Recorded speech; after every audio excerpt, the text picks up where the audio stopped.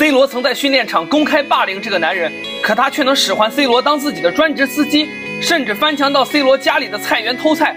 他正是 C 罗最亲密的皇马队友，葡萄牙左后卫科恩特朗。当年 C 罗豪车副驾坐的从来不是美女，而是一个一头黄毛的男人。当时的皇马球迷也都在好奇，这个金毛凭什么能让身家上亿的 C 罗甘心当专职司机的？我从未要求过 C 罗每天接送我上下班，是他主动这么做的。科恩特朗解释着二人之间的秘密。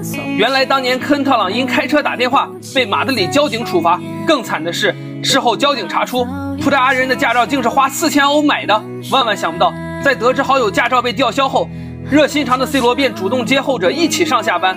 不仅如此，为了帮葡萄牙老乡尽快融入皇马更衣室，C 罗曾召集佩佩、马塞洛等人为后者举办欢迎仪式。而科恩特朗也爆料，因为去 C 罗家串门太频繁了，后来即便他不在家，我都会翻墙到菜园里偷菜，然后拿回家做汤喝。科恩特朗笑着说：“只可惜，当年科恩特朗因为近二十次伤病，再加上同位只有马塞洛的竞争，他从未坐稳皇马的主力左后卫。更糟糕的是。”场下他被狗仔拍到抽烟，并因训练迟到被球队禁赛。面对全场皇马球迷的辱骂和嘘声，葡萄牙人一度在场下崩溃流泪。